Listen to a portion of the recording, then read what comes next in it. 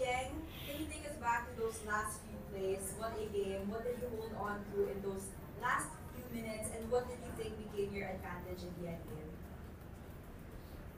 advantage is just uh, willing to battle. We were just uh, trying to grind it out.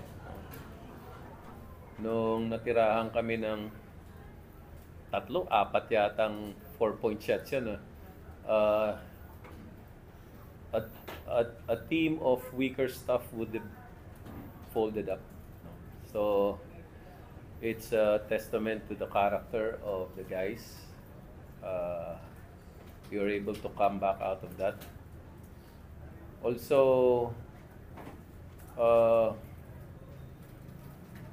Mag- Magnolia really surprised us because uh, they tried to play the kind of game that we also play, and they were able to keep up with us. But uh, I guess yun nga, we made some big plays. The three-point shot by by Kaylan, then some uh, uh, missed shots, or we, forced some stops, crucial stops. We were able to uh, prevent them from executing. Actually, medyo na-stuck yata sila sa 102 no, for, for a while. So that was the stretch where we played really good defense. For a while, we couldn't solve the side ball screen between Paul, Baroka, and uh, their bigs. Uh, nahirapan kami ng coverage namin. Pero yun nga, after a while, we found the solution to it. Also, Aaron just did a yeoman's job in the middle.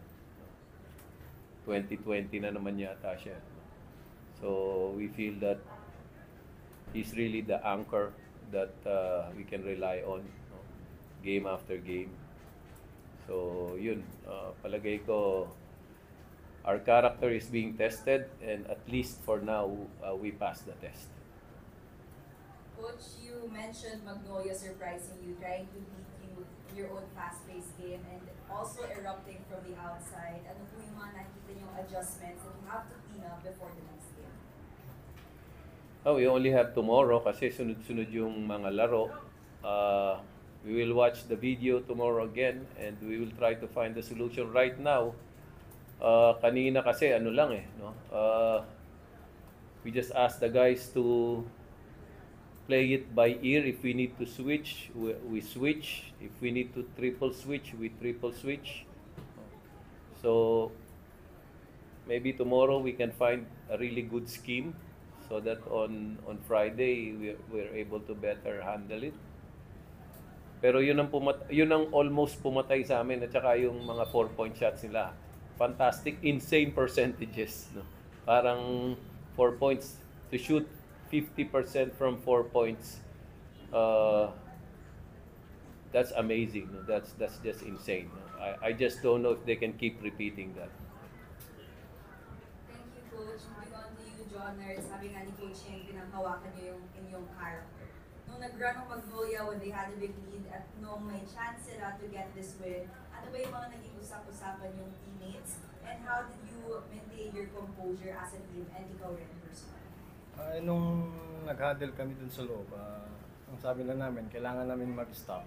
Tsaka kailangan namin mag-focus sa game para maka-run din kami. Tsaka lagi naman sinasabi ni Coach Cheng, ah, defense first before, ah, before the offense.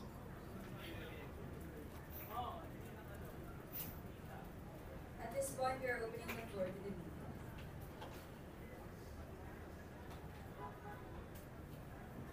Congratulations on the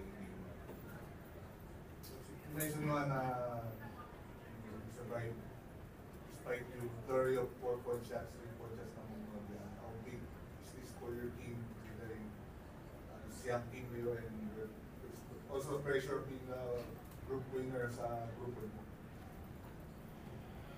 Actually, in-anticipate na namin yun. No, sinabihan ko sila Jonard tsaka yung team kanina. Sabi ko, kung matatalo tayo man matalo man tayo sa, sa game na to, ang tingin ko pwedeng tumalo sa atin yung 3-point shots tsaka 4-point shots nila. Ah, yung ibang ginagawa nila, kaya nating scheme, kaya nating depensahan. Pero, yun nga, kahit na conscious ka that they can make the 3 and the 4, iba pa rin pag nandun eh, mahirap pa rin sa actual na depensahan. That's why part of the game plan siguro is just to be able to lessen their efficiency. Mataas masyado yung 50% shooting from 4. Sabi ko nga, fantastic masyado yun. So, uh, we'll try to lessen that because we know they'll take a lot more four-point shots, not just three-point shots. And parang specialty, specialty, specialty na ni Anmisi. So you have to pay special attention to that. Kung nagmintis lang yun, baka hindi kami masyado nahirapan. No? Pero yun talaga nagpahirap sa amin yung mga four-point shots nila.